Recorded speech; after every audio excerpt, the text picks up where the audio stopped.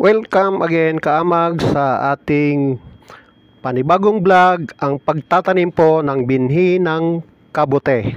Panoorin po natin ang ating tutorial sa pagtatanim ng binhi ng kabote. After po natin gumawa ng fruiting bags, ito na po ay ating ipapasteurize sa ng 8 hanggang 10 oras. So, ganito po yan. Lagyan lang natin po sa drum na may tubig. Ano po, yung ilalim. So, one-third ng drum. So, pagpapaturing patungin lang po natin yung mga fruiting bags.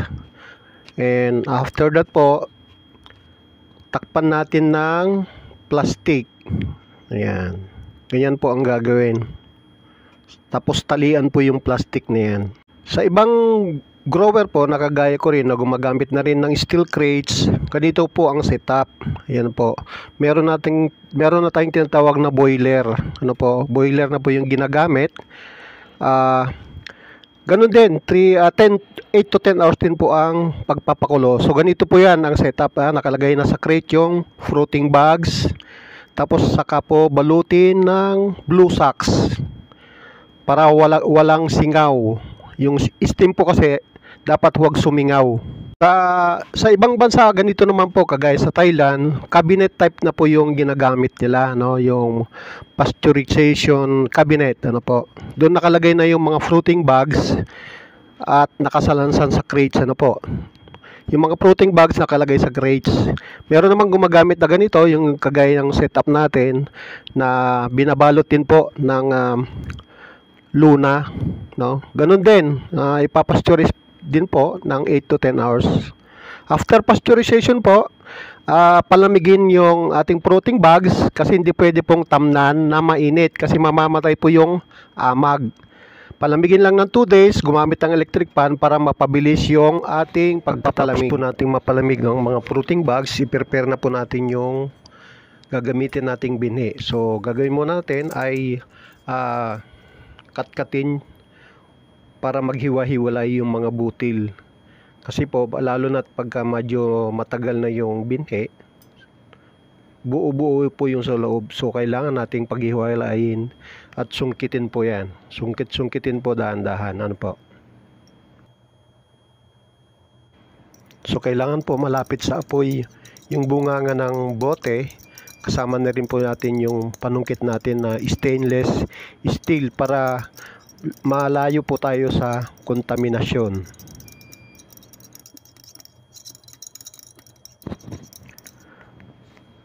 Yan po, kailangan uh, wala pong masyadong buo kasi pagka may buo-buo po, mahirap po yan uh, lumabas yung butil. Kapag kasi ang binhi po natin ay more than 30 days, masyado na pong makapal yung amag kaya po mahirap na pong sungkitin. So tiyagain lamang po. Hindi kagaya po itong bote na ito. 12 days po ito ginamit lang natin for demo purposes. Ano po? Ayan tingnan nyo. Ang bilis po nating sungkitin kasi po yung amag ay hindi pa gaano pong makapal. Ayan po. So ganun din idarang sa apoy bago natin sungkitin Ayan, tingnan nyo po, mas madali siyang uh, paghiwa-hiwalayin. Okay, mga kamag, mag-start na po tayo magtanim. Ano? Tanggalin lang po natin muna yung mga takip na papel para mabilis po yung ating pagtatanim kasi kailangan pong bilisan. Ano po? Ayan, tanggalin yung takip ng fruiting bag, yung bunganga, may takip po kasi yan na cotton waste. Yan. Ang ilalagay lang po natin ay hanggang isang kutsara lang po ano po na binhi. So matipid ano. Ang ginamit po kasi natin ngayon ay yung F0 kasi for demo, demo purposes lang po.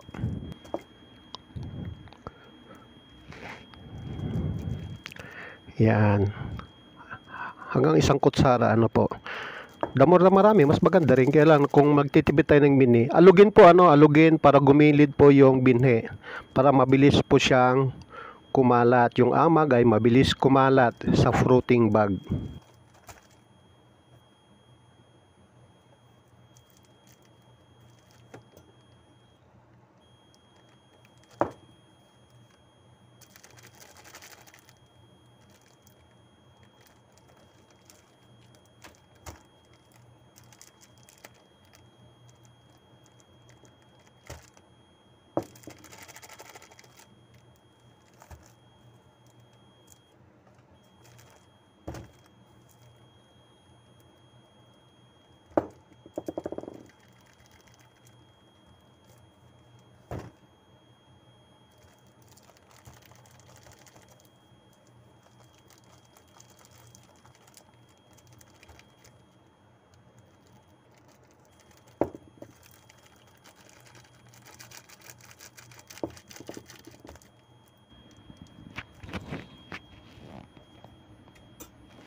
Ayan po, pagkatapos po nating mat, ah, matamnan lahat, sure din po natin na isalab din yung bunganga ng ating binhi para hindi ho makontaminate.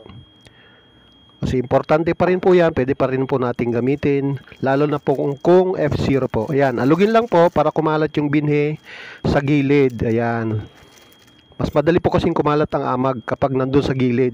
Pero kung ang binhi ay nandun lang sa bunganga, ah, medyo matagal po ang paggapang ng amag. So pagkatapos niyan po, no? Pagkatapos nating ah, tamnan, yan. Tulad ng sabi ko kanina, alugin para kumalat lang yung binhe.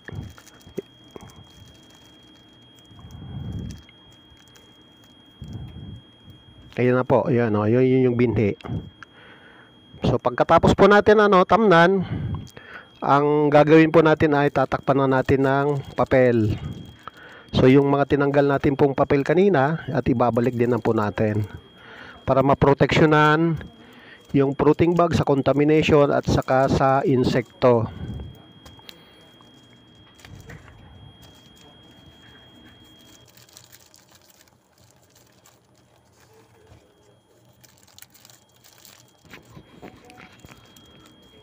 After po nating ah, matakpan, pwede po ilagay na po natin sa incubation area. Pwede po ilagay sa madilim at malinis na lugar. No po, pwede rin pong ganito kung naka-crates po tayo. Pwede na rin po diyan sa crates na lang ilagay, takpan lang po ng net para hindi po ah, pasukin ng daga or butasin ng daga. Kasi yan isa ang isang problema po kapag open yung incubation area po natin, pwede po siyang pasukin at sirain ng daga yung ating fruiting bags na in which napakasayang po ano yung pagod natin. Kasi pag once na inatake po ng daga ay sanhi na it- ito ng kontaminasyon. Kasi marumi po yung daga marumi po yung paa ng daga at saka yung bunganga ang incubation period po natin ay hanggang 28 to 30 days. Ano po? ah, fully ramified na po ang ating fruiting bag. Ibig sabihin puting-puti na po 'yan after 30 days. At saka natin ililipat sa ating patubuan po. Ganun po ang incubation ng ating fruiting bags. 30 days po. Minsan kapag 30 days na yan, meron na po yung sibol ano, na lumalabas sa bunganga ng ating patubuan. Dito makikita na natin po yung pagkalat ng amag ano po, yung pababa na yung amag hanggang doon sa puno ano. Puputi po yan after 30 days. Ito na po yung ginawa nating fruiting bags ano, after 7 days. Pagkatanim po natin, makikita nyo po yung ah, amag ano po, pababa na po siya. So, yan yung binhi na, yung nilagay nating binhi, ayan na po, ano, kumalat na po yung amag, ay makikita nyo na parang sapot. Napakalakas po o talagang ah, yung binhi natin po ay aggressive pag ganyan po, no. Although mabagal siya dahil 7 days, pero sa ating uh, pag-analisa wala pong kontaminasyon. So maganda yung pagpapakulo po natin ng ating fruiting bag. So tulad ng nabanggit ko, ito na po yung uh, binhi natin, ano, yung amag kumalat na po sa fruiting bag. Ito, halos kalahati na po. Karamihan niyan pagkalahati 20 ano 18 days. Ito na po yung fully ramified ano, puting-puti na po. At pagkatapos niyan, pagputi saka natin ililipat po dito sa patubuan. Sa setup po natin ganito ay hindi natin inahang ano po uh, ikinakamada natin nakaisla ng konti. Pwedeng gumamit ng A-frame na po. Kung yung mga nagtitipid na growers, Pwede pong gumamit ng indigenous materials na pagpapatungan ng ating fruiting bag kung wala pa tayong pambili ng bakal at saka lubid. Dito po makikita na natin yung tinatawag nilang pinheads. Ayan. So, yung kabuti na yan ay lumalabas na po doon sa bunganga. No? Kahit may takip po yan na cotton waste, ang amag o yung si kabuti po ay lalabas at lalabas doon sa butas. So, ito na po sila, no? Ang kabuti kasi, hindi po pantay-pantay ang pagtubo niyan. Nagbubulihan din po yan kagaya ng parang baboy, nagbubulihan pagdating sa pagkain, ano po, nag-aagawan. So ito na po yung ating eh, mga mature na ah, kabute, no, na pwede na pong anihin. Ah, 4 days after pagkalabas na po niya sa pinheads, o pinheads, pwede na pong anihin yan. Ito mature na po yan na pwede nating pitasin. Ang pagpipitas po lang yan ay iikutin. Ano po? Yan. Ito po yung pinatubo natin na yan ay white oyster mushroom o kabuteng pamaypay. Itong isang klase naman po, ito ay yung gray. Ito, isa rin itong kabute na masarap. Ano po? Maraming salamat po sa panunod ng aking vlog. Kahit mabilisan po itong tutorial, pero pwede nyo pong i-drop yung mga questions nyo sa comment box. Thank you. God bless.